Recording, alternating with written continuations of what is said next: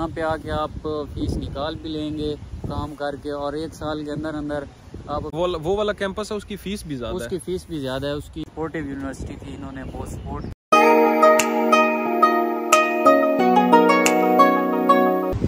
Ji I hope you all are doing very good आज Friday का दिन है और 12 मई है और मई का आप देख लें कि मिड आ गया और सर्दी अभी तक कम नहीं हुई। हमारा दिल था कि वीडियो बनाएँगे। बड़ी अच्छी धूप थी अभी थोड़ी देर पहले। यूके का वेदर एज इट इज़ आप सबको पता है कि इधर का वेदर इस तरह है कि जैकेट हर टाइम आपको साथ रखनी पड़ती है। तो आज की जो वीडियो है, वो मेरे मेरे साथ मेरे दोस्त हैं जो अभी वीडियो बना रहे हैं, यासिर साहब। तो इनकी जर्नी आपके साथ शेयर करेंगे। ये अल्स्टर यूनिवर्सिटी में आए थे और क्या क्या इन्होंने यहाँ पे अल्स्टर यूनिवर्सिटी में आने के लिए क्या क्या प्रोसेस इन्होंने किया है आइट्स दिया है। जितनी भी इन्होंने हर्डल्स या प्रोसेस में जितने भी इनको मसाइल या जो भी चीज़ें वो आपके साथ यासिर भाई अपनी कहानी डिस्कस करेंगे। तो आए। तो ये यासर भाई हैं और मेरे बड़े अच्छे दोस्त हैं। ये अल्स्टर यूनिवर्सिटी में आए थे यहाँ पे और इनकी प्रॉपर जितनी भी स्टोरी अल्स्टर यूनिवर्सिटी तक पहुँचने की वो आपके साथ ये शेयर करेंगे।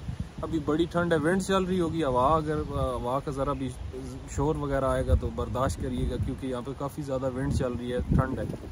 तो फिर भी हम इकट्ठे थे हमने कहा एक वीडियो बना के दोनों और इसका एक्सपीरियंस यासर का शेयर कर देते हैं। तो यासर साहब आप अल्स्टर यूनिवर्सिटी में कब आए थे? कौन से इंटेक में आए थे? जी मैं था अल्स्टर यूनिवर्सिटी में जनवरी इंटेक में आया था 2022 में। 2022 में आप किस कोर्स में आए थे यहाँ पे? मैंने एमएससी इंटरनेशनल में जो एडमिशन लिया था। इंटरनेशनल बिज़नेस बिज़नेस में।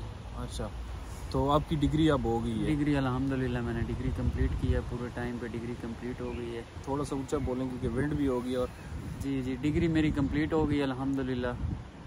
चलें। और आपने पाकिस्तान से किसी कंसल्टेंट से प्रोसेस करवाया था या आप खुद प्रोसेस नहीं मैंने खुद ही प्रोसेस किया था अपना अल्स्टर यूनिवर्सिटी का। मैंने एक्चुअली फेसबुक से इनका एक ऐड देखा था और उसी के थ्रू बस फिर मैं खुद ऑनलाइन चेक करके अपना सारा प्रोसेस मैंने खुद किया था। अल्स्टर यूनिवर्सिटी की मास्टर इन इंटरनेशनल बिज़नेस की फ़ीस कितनी आपने पे की है? इसकी टोटल फ़ीस थी nine thousand two hundred and fifty pounds और जो इनका इनिशियल डिपॉजिट होता है वो थोड़ा ज़्यादा होता है। मैंने छः हज़ार पाँच सौ जो है वो इनिशियल डिपॉजिट पे किया था। तो उसके बाद उसका फ़ायदा ये होता है, जब आप एक अच्छा खासा पोर्शन फ़ीस का वहाँ से पे करके आ जाते हैं तो यहाँ आके फिर आपको इतनी मुश्किल नहीं होती। तो रिमेनिंग फ़ीस जो है वो आप अपने पूरे टाइम पे पे कर सकते हैं। और इन केस अगर आप पूरे टाइम पे अपनी फ़ीस आपसे अरेंज नहीं भी होती आपके सरकमस्टांसेस यहाँ पे आके, क्योंकि हर स्टूडेंट का यहाँ पे सरकमस्टांसेस डिफरेंट हो जाते हैं आके तो इस तरह के केस में भी यूनिवर्सिटी जो है वो आपको सपोर्ट करती है, वो आपको थोड़ा और टाइम दे देते हैं कि आप बाद में भी फ़ीस पे कर सकते हैं, कोई इशू नहीं होता। तो यूनिवर्सिटी की यासर भाई ये कह रहे हैं कि पॉलिसीज़ जो है, थोड़ी सी आप कह सकते हैं कि अच्छी हैं कि स्टूडेंट को इंस्टॉलमेंट प्लान एक दे देते हैं। जो मैं आपको पिछली वीडियोस में बताया कि यूनिवर्सिटीज़ अब कंपैरेटिवली बाकी यूनिवर्सिटीज़ मोस्टली इंस्टॉलमेंट प्लान नहीं देते वो कहते हैं अपनी दो तीन महीने में अपनी फ़ीस क्लियर करो। तो इस फ़ीस की इस यूनिवर्सिटी की फ़ीस भी बड़ी इकोनॉमिकल है और अभी नाइन थाउज़ेंड कितनी थी थी? Nine thousand two hundred fifty pound थी लेकिन अभी लेकिन इंक्रीज होगा अभी दस हज़ार से ज़्यादा होगी टेन थाउज़ेंड क्योंकि हर हर इनटेक में ये तीन सौ या थ्री हंड्रेड या फोर हंड्रेड फ़ीस बढ़ाते हैं। बढ़ा देते हैं। अच्छा यासिर भाई आपको यहाँ पे इंग्लैंड की स्टडी आप आए आप यूसीपी से पढ़ के आए। यूसीपी तो आपको यहाँ पे एजुकेशन थोड़ी मुश्किल लगी है क्योंकि ये सारी असाइनमेंट बेस्ड और रिसर्च बेस्ड इनकी सारी एजुकेशन आपको मुश्किल लगी है। या अल्स्टर यूनिवर्सिटी आपको ईजी लगी है आपको स्टडी कैसी लगी है? जब स्टार्ट में यहाँ पे मैं आया था तो यहाँ पे आके जब स्टार्ट में क्लासेस वगैरह लेना स्टार्ट की तो वो चीज़ें देखी, क्योंकि मेरी फ़ील्ड नहीं थी बिज़नेस मैंने अपनी फ़ील्ड चेंज की थी तो थोड़ा मुश्किल हुआ था स्टार्ट में। लेकिन ये है कि ऐसा ऐसा जब आप अगर थोड़ा बहुत स्टडी को भी टाइम दे रहे हैं साथ साथ काम करने के साथ साथ तो आपको बहुत ईजी लगेगी स्टडी यहाँ पर अगर मैं कंपेरिज़न करूँ, पाकिस्तान की स्टडी का, अपनी इस डिग्री के साथ तो मुझे ये वाली डिग्री जो है वो इजी लगी है। एक तो ये था कि मैं थोड़ा बहुत स्टडी को टाइम देता था और दूसरी चीज़ ये थी कि यूनिवर्सिटी जो मैंने फील की है, ये बहुत सपोर्टिव यूनिवर्सिटी थी। इन्होंने बहुत सपोर्ट किया हमें और एक्स्ट्रा कोचिंग भी करते हैं ऑनलाइन भी करते हैं। उसके बाद आप कैंपस में भी जाके कर सकते हैं। तो कंपेरेटिवली मुझे ये डिग्री ज़्यादा ईजी लगी है। दोस्तों ये डिफरेंस है। आ, आपको डाइवर्सिटी बताता हूँ कि यासिर भाई की जो यूनिवर्सिटी है वो ये बता रहे हैं इनका अपना एक्सपीरियंस आप सुन रहे हैं कि इनकी यूनिवर्सिटी इनको ईजी लगी है। जिस तरह मैंने अपना बताया था कि मेरी यूनिवर्सिटी काफ़ी टफ थी। यूनिवर्सिटी ऑफ़ वेस्ट मिनिस्टर काफ़ी टफ थी यासिर इधर आया इसको पता है university of waste minister London का वो वो काफ़ी टफ यूनिवर्सिटी थी और काफ़ी हम आ, कह सकते हैं कि मेरे बैचमेट काफ़ी ज़्यादा फंस गए थे डिग्री में फिर वो डिप्लोमेस वगैरह उनको डिप्लोमा जब डिग्री ना हो कुछ क्रेडिट आर उनके लाइक एटी क्रेडिट आवर्स आपने किए हुए हों तो फिर आपको डिप्लोमा मिलता है डिग्री मेरे काफ़ी सारे दोस्तों को डिप्लोमा मिला है फिर। तो अल्स्टर यूनिवर्सिटी बहुत अच्छी यूनिवर्सिटी है, क्योंकि ये मेरे शहर में और मैंने देखी हुई है और मैं इसीलिए आपके लिए आज एक यासर मेरे साथ ही होते मैंने कहा, चलो, एक वीडियो बना के आपको हेल्प आउट कर दिया जाए। तो यासर भाई, आप ये बताएँ कि अल्स्टर यूनिवर्सिटी के कितने कैंपस हैं इंग्लैंड में? अल्स्टर यूनिवर्सिटी के बेसिकली चार कैंपस हैं। एक जो इनका मेन कैंपस है, वो नॉर्दर्न आयरलैंड में है। एक इनका कैंपस बेलफास्ट में है। और एक नहीं इनकी तीन कैंपस है मेरे ख्याल में बेलफास्ट वाला वो नॉर्दर्न आयरलैंड में आता नहीं है वो नॉर्दर्न आयरलैंड में आता है लेकिन वो एक बेलफास्ट कैंपस है और एक उधर ही नॉर्दर्न आयरलैंड में मैगी कैंपस है। अच्छा मैगी कैंपस ये दो कैंपस वहाँ पे हैं एक लंदन में कैंपस है और एक बर्मिंगम में कैंपस है। तो बर्मिंगम को इसलिए ज़्यादा प्रेफर करते हैं क्योंकि मैं तो ये प्रेफर करूँगा क्योंकि स्टार्ट में जब आप आते हैं तो यहाँ पे एक्सपेंसेस आपके होते हैं तो Birmingham as compare to Northern Ireland या लंदन थोड़ा चीप पड़ जाता है। तो लेकिन आपकी जो नॉर्दर्न आयरलैंड वो, वो वाला कैंपस है उसकी फ़ीस भी ज़्यादा उसकी फ़ीस भी ज़्यादा है उसकी सोलह हज़ार कुछ फ़ी है। हाँ, और ये क्योंकि वो मेन कैंपस है। एफिलिएटेड कैंपस हैं ये तो ये इसलिए चीप पड़ जाते हैं। एज कंपेयर मेन कैंपस थोड़े एक्सपेंसिव होते हैं। तो ये चीज़ें हैं।